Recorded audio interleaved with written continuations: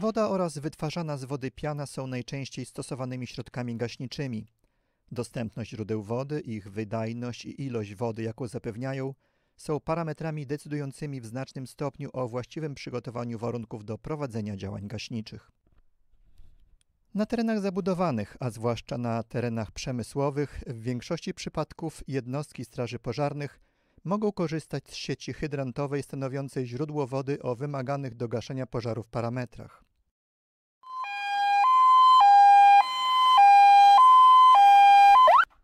Przypadku braku sieci hydrantowej lub jej niewystarczającej wydajności niezbędne jest dostarczanie wody z większej odległości. Taktyka pożarnicza przewiduje trzy metody realizacji tego zadania: przetłaczanie, przepompowywanie i dowożenie. Dwie pierwsze metody wymagają zbudowania linii wężowych o odpowiedniej długości. W przypadku prowadzenia działań gaśniczych na terenie z ograniczonym dostępem do źródeł wody, skuteczne działania gaśnicze nie mogą być prowadzone. Strażacy mogą prowadzić jedynie działania w obronie, ograniczając rozwój pożaru. W celu zapewnienia wymaganej do ugaszenia pożaru wydajności została podjęta decyzja o przepompowywaniu wody przez samochód ustawiony przy hydrantach oddalonych o około 600 metrów. Ilość węży stanowiących wyposażenie samochodów jest niewystarczająca do zbudowania linii zasilającej o takiej długości. Wymaganą ilość węży zapewniają najczęściej specjalistyczne samochody, kontenery lub przyczepy wężowe dedykowane do przewożenia i rozwijania linii wężowych. Na filmie przedstawiono alternatywne rozwiązania wypracowane w Zakładowej Straży Pożarnej Grupy Azoty Puławy, pozwalające na sprawne rozwinięcie linii wężowej, a nie wymagające przeznaczenia wyłącznie na ten cel środka transportu. Do budowy linii zasilającej wykorzystywany jest samochód kwatermistrzowski z dodatkowymi wężami i wózkiem do ich rozwijania.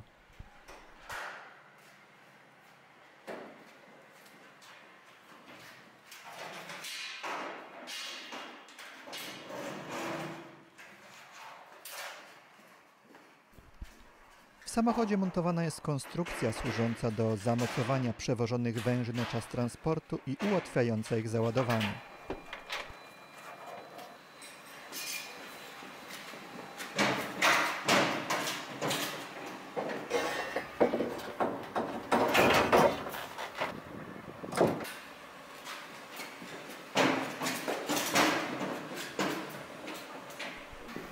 Po zamocowaniu konstrukcji ładowane są węże nawinięte na szpule. Wózek wykorzystywany do transportu węży służy również do ich rozwijania podczas budowania linii zasilającej.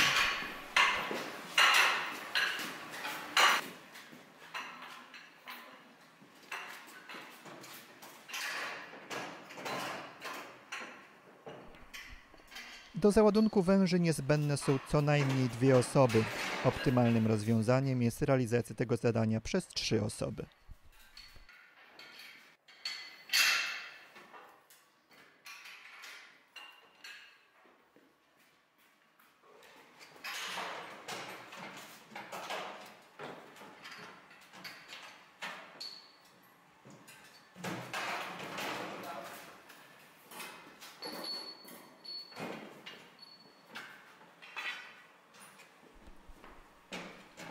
Ustawione w samochodzie węże zabezpieczane są przed przemieszczaniem podczas transportu.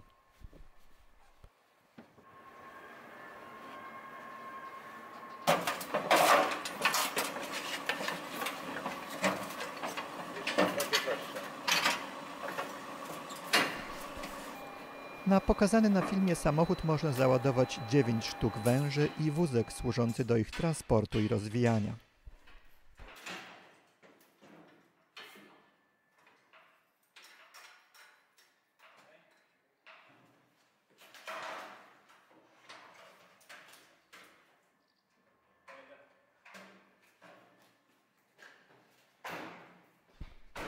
Po załadowaniu i zabezpieczeniu węży oraz złożeniu podestu, samochód jest gotowy do rozwijania linii wężowej.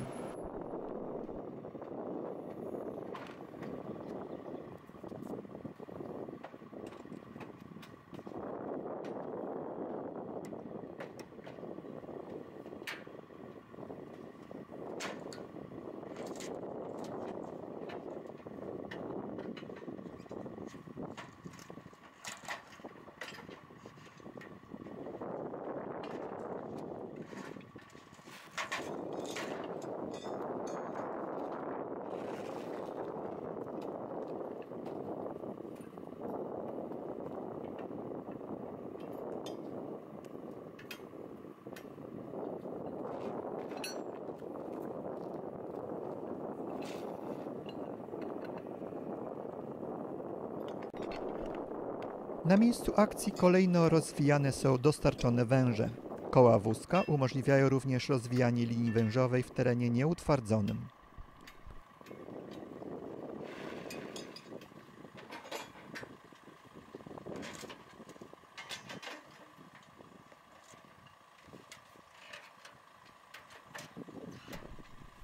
Możliwość szybkiego składania i rozkładania podestu umożliwia przejazd samochodu do miejsca łączenia kolejnego odcinka i skraca czas rozwijania linii. Do budowy linii wężowych wykorzystywane są dwustronnie powlekane węże W110 o długości 60 metrów. Zastosowane węże są odporne na uszkodzenia, co zapewnia niezawodną pracę zbudowanej linii zasilającej. Okupione jest to niestety większą od standardowej wagą i sztywnością. Zaletą stosowanych węży jest również brak konieczności ich suszenia po zakończeniu działań gaśniczych. Na wszystkich wężach nałożone są dodatkowe krótkie odcinki, które mogą być wykorzystywane do szybkiego usunięcia ewentualnych nieszczelności. Zbudowana linia umożliwia uzyskanie wymaganej wydajności podawania wody i tym samym skuteczną walkę z pożarem.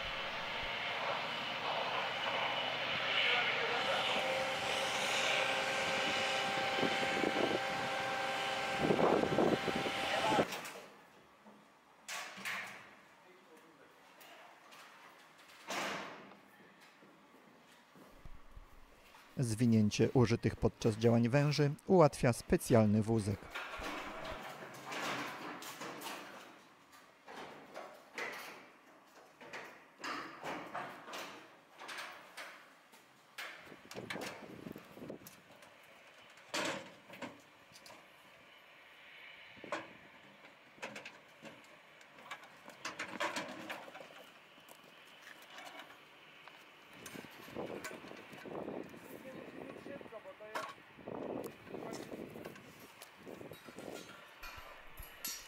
Składana rama ułatwia zakładanie pustej szpuli i jej wyjmowanie po nawinięciu węża.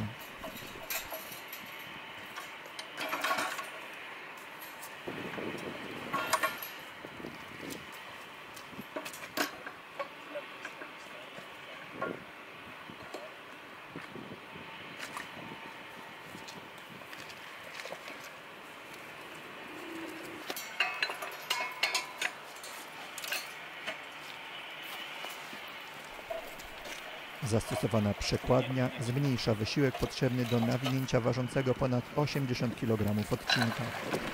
Na płaskim terenie nie jest również konieczne wylewanie z węża wody. Opróżnianie następuje podczas nawijania węża.